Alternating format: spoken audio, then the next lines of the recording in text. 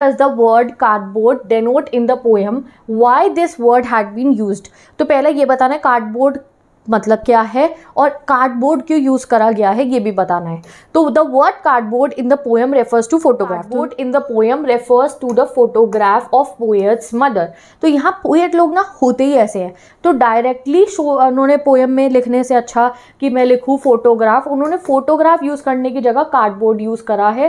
Cardboard इन्होंने use करा है अपनी मदर की फ़ोटोग्राफ को दर्शाने के लिए।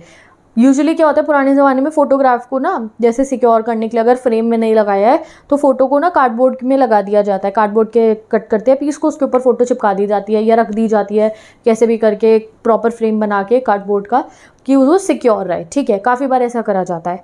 तो ये उन्होंने कार्डबोर्ड लिखा फोटोग्राफ की जगह, ठीक है? तो the word cardboard in the poem refers to the photograph of the poet's mother enjoying a sea holiday with her two cousins when she was 12 years old तो भाई अब हमें चाहिए नंबर और हमें चाहिए बढ़िया आंसर लिखने की टेक्निक तो सिर्फ़ ये नहीं लिखेंगे हम कि the cardboard means photograph of mother बता भी तो दो उस फोटोग्राफ में है क्या? तो नंबर मिलेंगे आपको. तो the word cardboard in the poem refers to the photograph of poet's mother enjoying a sea holiday with her two cousins when she was 12 years old तो आपने पूरा बता दिया. अब दूसरे आंसर करना है. Why this word has been use भाई कार्डबोर्ड क्यों लिख रहे हो? सीधा फ़ोटो लिख देते। क्यों लिखा है? बताते हैं। The cardboard stand for the frame that supports and holds the photograph तो कार्डबोर्ड क्या है? वो फ्रेम है जो होल्ड कर रहा है उस फोटोग्राफ को। और कार्डबोर्ड इसलिए यूज़ करा गया है because the cardboard's lack of durability hints that lack of permanence of human life durability मतलब होता है कितने समय तक कोई चीज़ चलेगी। तो कार्डबोर्ड पे आज अपने फ्रेम में फ़ोटो लगा दिया कार्डबोर्ड का बना के कितने समय तक चलेगा। वो कुछ समय बाद ख़राब हो जाएगा, नया कार्डबोर्ड का फ्रेम बना के उसमें फ़ोटो आपको रखनी पड़ेगी। और ये परमानेंट नहीं है ना मतलब कार्डबोर्ड का फ्रेम और कार्डबोर्ड परमानेंट नहीं है, कहीं ना कहीं जो है अंदाज़ा देता है किस बात पर हमारे को पोएम की शुरुआत पर ही कि ह्यूमन लाइफ भी बिल्कुल परमानेंट नहीं होती है, ठीक है? We don't know guys we are mortal beings ठीक है, हम लोग इमोर्टल नहीं है। एंड पोइटस ने इस पोएम के थ्रू अपना कौन सा दुख दर्शाया है? जहाँ वो अपनी मदर को मिस कर because she is no more तो कहीं ना कहीं उन्होंने पहली लाइन में कार्डबोर्ड यूज़ करके ही अपना पेन शो करा है दैट कार्डबोर्ड भी परमानेंट नहीं होता। एंड अभी उनकी मदर भी उनके साथ नहीं है। दैट मीन्स ह्यूमन लाइफ भी परमानेंट नहीं होती है। बहुत इंपॉर्टेंट बहुत डीप क्वेश्चन है। एग्ज़ाम में आ सकता है।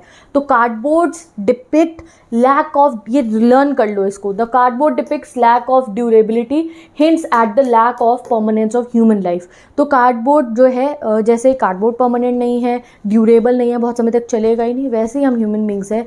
We are mortal beings anything can happen to us any time and इसलिए we should live our life very happily ठीक है? तो यही चीज़ आपको समझनी है, ये आंसर को आप अच्छे से रीड कर लो. मैं चलती हूँ नेक्स्ट क्वेश्चन पे. What has not change over the years this just suggest something to you तो एक लाइन थी जब उन्होंने बोला था कि कोई चीज़ कभी भी नहीं बदली है, अभी तक नहीं बदली है। तो क्या ये कुछ आपको समझ में आ रहा है? ऐसे तो अगर आपने पोएम अच्छे से पढ़ी है तो पोएटिस ने कहा था कि सी जो है, जो समुद्र है बीच हॉलीडे पे जहाँ उनकी मम्मी गई थी, उसका पीछे का जो समुद्र था बैकग्राउंड में, वो अभी तक नहीं बदला है। क्योंकि ऑब्वियसली नेचुरल चीज़ें नेचर की चीज़ें तो सेम रहती है। तो क्या ये कुछ आपको अंदाज़ा दे रहा है? उनका ये कहना कि सी अभी भी बिल्कुल वैसी है। तो हाँ वो फिर से अपना वही दुख बता रही है कि उनकी मदर बारह साल की थी उस फ़ोटो के अंदर। अब वो उनके पास नहीं है, ठीक है? बट जो वो समुद्र था, आज वो अगर वहाँ जाएँगी, वो आज भी वहीं है। तो वो परमानेंट है ह्यूमन बींग्स परमानेंट नहीं है। वही चीज़ दोबारा उन्होंने लिखी है। The line and the sea which appears to have change less depict that the sea which touch him mother feet the one which has not changed over the years whereas her mother and her cousins grew older तो वो ये उन्होंने क्या लिखा है कि वो जो समुद्र है, जो उनके मम्मी और उनके मासियों के जो है पैरों में था, वो तो नहीं बदला है बट वो बड़ी हो गई और आज तो उनकी मदर है भी नहीं, ठीक है? The sea symbolises eternity and immortality. Human being has a lifespan and has to die one day. Life is not permanent. The poet is sad about her mother's demise twelve years ago and her laugh is a favourite part time ठीक है? तो ये long answer में आप इतना कुछ लिख सकते हो। नॉर्मली में आप सिंपल आंसर कर सकते हो कि उन्होंने यही बताया है सी को। ठीक है? Next question write briefly what girls did on the sea beach तो पोएट की मदर और उनकी बहनों ने सी बीच पे क्या करा? आपको ब्रीफली लिखना है। तो the poet's mother is on the beach with two girl cousins each of them is holding one of the hands of poet's mother उनका हाथ पकड़ा हुआ है who is older than them The cousins are younger than her the wind was blowing वहाँ पे हवा चल रही थी on the beach the hair was flying on the girls faces उनके फेसेस पे हवा आ रही थी और सारे बाल वाल उनके उड़ रहे थे. Their smiles could be seen even through their hairs तो वो बाल उड़ रहे थे ऐसे ऐसे उनके बट फिर भी वो हंस रही थी. वो तब भी दिखाई दे रही थी उनके फेस पे उनके बाल आ रहे थे बट तब भी. They were smiling at the person और वो किसको देख के स्माइल कर रही थी? उसको देखकर जो उनकी फ़ोटो खींच रहा था सामने, और वो कौन थे? It was their uncle who was capturing the three girls on his camera while three young girls stood in the sea water wash their mottle feet. और जब वो तीनों खड़े होकर स्माइल करके अपनी फ़ोटो खिंचवा रही थी, उसी समय पे वो समुद्र उनके जो है पैरों को वॉश कर रहा था, यानी कि लहरें आ रही थी उनके उस पर और वहीं पर हमारी पोइटस ने बताया कि वो लहरें ने जो है वो पर्मानेंट है। और जो हम उन बन, तीन बच्चियों के फीट थे वो क्या थे? वो नॉन परमानेंट थे क्योंकि आज तो उनकी मदर जो है she is not even alive तो वो याद करती है कि कैसे जो है आज भी समुद्र तो वैसा का वैसा ही है बट ये फीट जो थे ये परमानेंट नहीं थे ये टेरेबली ट्रांजियन फीट थे ठीक है?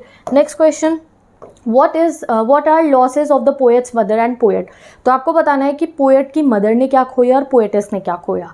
तो the poet's mother loss is her old happy days तो उनकी मदर अपना बचपन याद कर रही थी on the sea beach while loss of the poet is beautiful smile of a mother and she is now death तो उनको अपनी मदर की याद आती है और उनकी खुशी याद आती है कि कैसे जब वो इस फ़ोटो को देख के हंसती थी तो उन्हें वो याद आता है और उनकी मदर को याद आता था अपना बचपन की कैसे वो ट्रिप पे इंजॉय करती थी।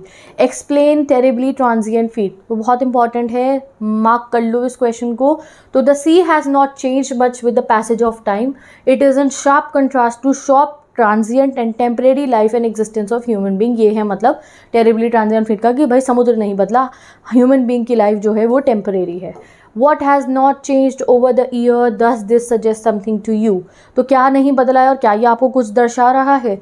तो इट इज़ द सी जो अभी तक नहीं बदली है over age there has been a big change for the little girls who once enjoyed that beach this suggest that human life and human body are physically destructible but nature and its component are eternal and never change ठीक है? Next question पे चलते हैं. Briefly evaluate the poet's attitude towards life as seen in the last stanza of poem. तो आपको बताना है कि पोएट का एटीट्यूड लास्ट stanza में पोएम में कैसा था? The period of nearly twelve years since the poet's mother passed away has been painful for the poet तो वो बताती हैं दैट uh, एक वॉइड क्रिएट हो गया उनकी लाइफ में तो कहीं ना कहीं वो बता रही हैं कि बारह साल हो चुके उनकी मदर की डेथ को और तब से उनकी लाइफ में खालीपन है वो बहुत परेशान है। She can not hear her laughter उन्हें उनकी हँसी सुनाई नहीं देती। There is only silence now the period after death of poet's mother the life of poet has been dull and eventless बहुत डल लाइफ हो चुकी है, बहुत खालीपन है उनकी लाइफ में। द वॉयड वॉइड मतलब खालीपन created by her death is slowly becoming less painful और अब क्या हो रहा है? धीरे धीरे जब बहुत समय बीतता जा रहा है तो यू नो टाइम हील्स तो वो कह रही हैं that the void created by her death is slowly becoming less painful the time that passes silently but steadily weakens old memories of loss and grief ठीक है? तो टाइम उन्हें heal कर रहा है धीरे धीरे ये भी उन्होंने कहीं ना कहीं बताया है दैट जब उन्हें उन्हें बहुत दुख है, ऐसा नहीं है कि उनका दुख खत्म हो गया या ऐसा नहीं है कि उन्हें अब रोना नहीं आता या वो याद नहीं करती अपनी मदर को, वो करती हैं। बट टाइम के साथ साथ जो वो है वॉइड जो है, वो धीरे धीरे टाइम थोड़ा थोड़ा फिल करता रहता है ये भी उन्होंने कहीं ना कहीं सजेस्ट करा है। ठीक है? Next question the three stanzas depict three different phases what are they देखो, ये बहुत बार एग्ज़ाम में पूछा गया है तो आप याद रखो। तो the first stanza describe the stage when the poet's mother was little child बचपन, ठीक है? The second phase portrays the happiest moments when the poet and a mother were together and the mother was in a thirties और forties जब दोनों माँ बेटी एक साथ थी और वो बहुत खुश रहती थी तीस चालीस साल की उम्र थी तब उनकी मदर की। And the last and the third part of the poem refers to the poet's dejection of the present situation. She is terribly lonely and sad without her mother who has been dead for more than a decade. Decade मतलब होता है दस साल तो almost twelve years हो चुके हैं उनकी मदर की डेथ को। तो तीन फेजेस आपको यहाँ पे दिखाए गए उनकी बचपन उनकी मदर का उनके साथ बिताए हुए पल और अब जो वो नहीं है। ठीक है? नेक्स्ट क्वेश्चन uh, पे चलते हैं। What is the meaning of the line both wry with laboured ease of loss अब यहाँ से क्वेश्चन वन क्या है। एक टेरिबल ट्रांजिएंट फ़ील्ड और ये मार्क कर लो। इन दोनों को इंपॉर्टेंट है। तो what is the meaning of the line both wry with laboured ease of loss ठीक है? तो the line express the similarity between the facial expression of a mother and her self both faces had turned very owing to the terribly feeling of loss in the respective life the mother was sad about the absence of happy and cheerful childhood the poet had turn sad at the loss of a mother's laughter as the latter was dead थोड़ी सी मुश्किल language लिखी है इस answer में। But आप इसको simple कर सकते हो। तो बेसिकली ये लाइन एक्सप्रेस कर रहा है सिमिलरिटी उनकी मदर के और हमारी पोइटस के फेशियल एक्सप्रेशन में। क्योंकि जब उनकी मदर उस फ़ोटो को देखती थी तो उनका फेस भी सैड हो जाता था टर्न ऑफ़ हो जाता था, क्योंकि उन्हें अपना बचपन याद आता था। और वहीं पे जब पोइटस याद करती है उन दिनों को तो वो भी सैड हो जाती है, क्योंकि वो अपनी माँ की हँसी नहीं सुन पाती हैं या उसे महसूस नहीं कर पाती हैं बिकॉज़ द लैटर लैटर कौन हुई यहाँ पे? जो पोइटिस की मदर हैं बिकॉज़ शी वॉज़ डेड ठीक है। चलो अगला क्वेश्चन देखते हैं गाइज़ अब हम। अब आते हैं ओके तो with this we have completed ten question from this poem अब इस पोएम के दो लॉन्ग क्वेश्चन मैंने डिस्क्रिप्शन बॉक्स और पिन कमेंट में पिन कर दिए हैं। आप उनको भी ज़रूर से रीड कर लेना। और यहाँ पे हमारे मोस्ट इंपॉर्टेंट क्वेश्चन ये वो क्वेश्चन है जो बार बार प्रीवियस ईयर में पूछे गए हैं कंप्लीट हो गए हैं। तो मैं चलती हूँ बाबा टेके best of luck next video में हम कवर करेंगे नेक्स्ट पोएम के बहुत ही बेहतरीन important question okay so let's end this video और अगर आपको ये सब शॉर्ट क्वेश्चन को एक्सेस करना है तो मेरी इंस्टाग्राम आई पे सबकी फ़ोटोज़ मैंने अपलोड कर दिया, जाके आप देख सकते हो।